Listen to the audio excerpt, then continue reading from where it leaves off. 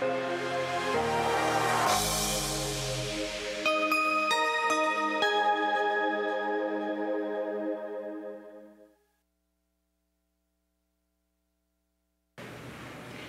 laser scanning is used to capture a crime scene and the data is used as scientific analysis and subsequently presented as evidence in a criminal trial, what are the requirements for accuracy and precision? Are all laser scanners up to the task? I'm Christine Grahl with Leica Geosystems. And here with me today on HXGN TV to talk about these and other hard-hitting questions about the use of laser scanning in criminal investigations is Michael Cunningham from Leads LLC. Welcome, Michael. Uh, thanks, Christy. It's great to be here at Hexagon.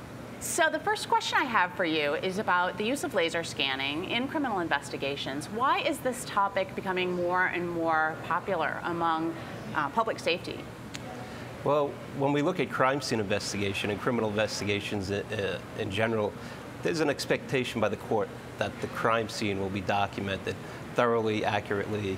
Um, so in as-is condition, the way it was found by, by the police when they first arrived, uh, that enables other people to view the scene, uh, to make judgments, to reach their own conclusions in a court of law. Um, so when we look at laser scanning, it's really brought a whole new dimension to how that's done. So laser scanners capture the scene in 360 degree images and also in point clouds. And then you know, with the proper laser scan, you could reach really scientifically accurate conclusions through those measurements uh, that could be gained from those point clouds. So laser scanning has brought a whole new dimension to crime scene investigation, and it's really become a pretty prevalent in the, in the crime scene investigation community. Well, and the more that public safety professionals learn about laser scanning, the more they're interested in applying it in their own agencies. But they also have some concerns. And so not everyone has adopted the technology yet. What are some of the biggest misconceptions that you think public safety professionals have about laser scanning?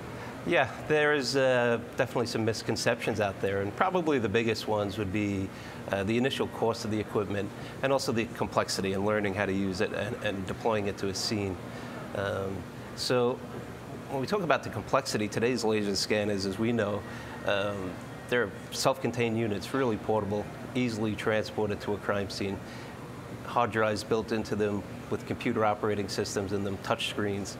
Uh, really made uh, the, the, interface between the user and the machine has really become pretty simple. Um, I've spent some time training crime scene investigators in using laser scanners, and within a day or maybe two days, they can become pretty proficient at deploying a laser scanner to the scene.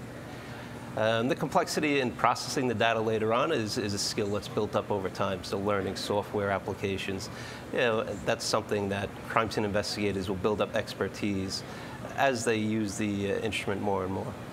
The other misconception probably is cost, and uh, it's true that uh, the initial equipment cost uh, for laser scanning equipment and accessories um, is significant. But when you look at the value it brings to crime scene investigation, and then you think about the, the length of time this, the equipment will be in service, um, it really becomes extremely manageable. So uh, let's say at a laser scanner that we have agencies that are scanning for seven years now with a laser scanner.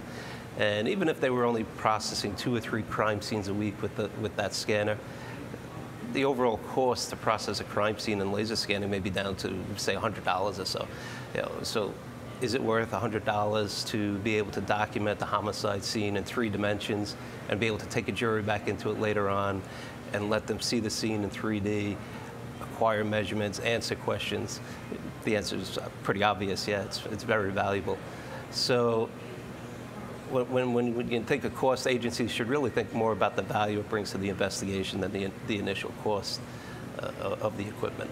Sure, and you also have the speed of documentation and the completeness of documentation as well. Yeah, you could even offset that cost and maybe, maybe even turn it into a, uh, a, a, a, positive because as investigators get more and more proficient when using the laser scanner at the scene, they save time. So the time it may take to hand draw a sketch of the scene and pull a tape measure across the scene to take maybe hundreds of measurements uh, could be done in maybe minutes with a, with a laser scanner. So there's a cost savings there with just manpower savings. Sure. Well, when you have an agency who decides that they're ready to make the leap, they see the value, what are some of the key criteria that they need to keep in mind when they're looking at a laser scanner?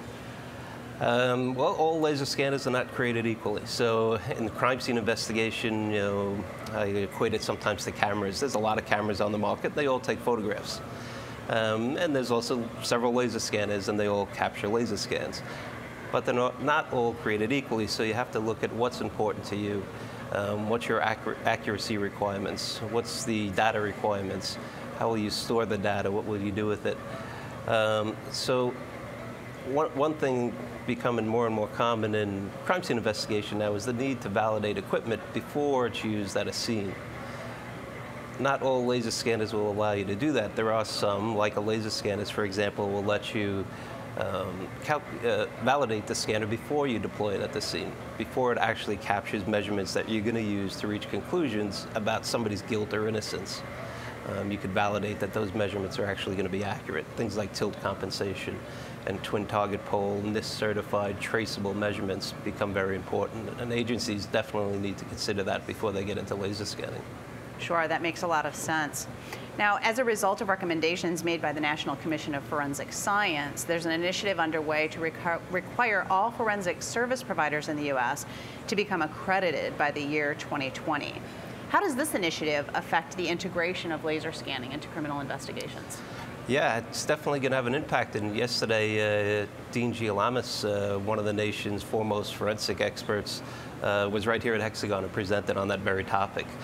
And back in November of last year, the Attorney General uh, agreed to the Commission's recommendation that uh, accreditation be mandatory for all forensic service providers.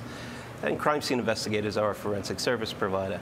They operate generally outside of the laboratory, but now are being brought into the envelope under forensic service providers. So some of the requirements that uh, they'll need to meet accreditation standards uh, will be to validate equipment, um, have known accuracy. So when you deploy a laser scanner to the scene, what's the accuracy of the measurements that you're expected it's going to be able to capture? Um, is it known? Has it been validated? Are there papers on that to prove it? So, and not just simple accuracy. When an investigator is testifying, they'll have to understand things like positional accuracy, 3D positional accuracy, angular accuracy, distance accuracy. Um, it, it's not just a simple statement. So, the, so there are things there that are going to be important in, in, in accreditation, and having the right equipment that will be able to meet those standards will be very important. Well, with the need for accreditation, are there any other questions that public safety professionals should be asking as they take a look at new technology, laser scanning, and whatever else might be coming down the road? Yeah. Um, as, as the accreditation standards come down, there's different uh, ISO standards that will apply. So they need to look at these standards and understand what, what, what it'll mean. The Attorney General's recommendation mandates accreditation by the year 2020 for forensic science providers. So within that short time frame, any equipment that's being acquired is going to be able, going to need to be able to meet those standards in a real short time frame. So can you use instruments at the uh, scene to trace your measurements back to national standards, back to NIST traceable standards? Can you validate the instrument at the scene before it's used? After it's used, what will you do with the data? How will you store it? How will you maintain it? Once the data is captured, it's considered evidence. So how will it be uh, verified that, it, that it's valid by the time it's collected, all the way through the time of storage till the time it's presented in court?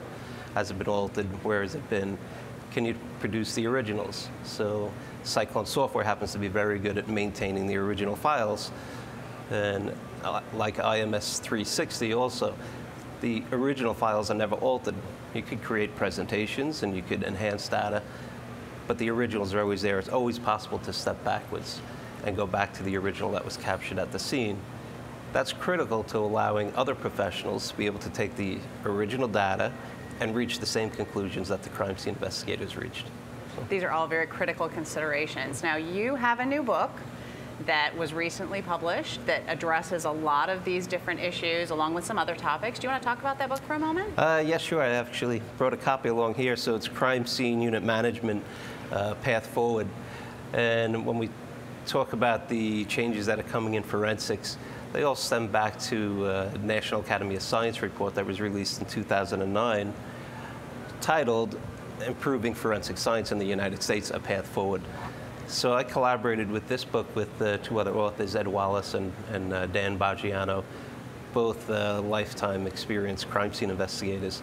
And when we looked around, we realized that there's a lot of text out there about how to process crime scenes, how to collect fingerprints, how to collect DNA evidence, how to handle it, how to test it. But there wasn't many texts out there on how to manage the entity, the crime scene unit entity. Um, and especially along the path forward where accreditation will become mandated, how do you take your unit from the point it's at through an accreditation process to meet new national standards that are forthcoming? And how do you accomplish uh, actually improving forensic science? So that's what the book's about. We're excited and we're hoping that uh, it'll be helpful for the practitioners in the field. It certainly sounds that way. Now, where can people get a copy? Is that available through Amazon.com? It's available at uh, Amazon.com, uh, Routledge Okay. Publishing. Yeah. Okay, excellent. Well, thank you so much, Mike. I appreciate your time. Thank you, Kristen. For more information about criminal investigations, please visit leadsllc.com. You can watch more HXGN TV episodes at hxgntv.com. Thank you for watching.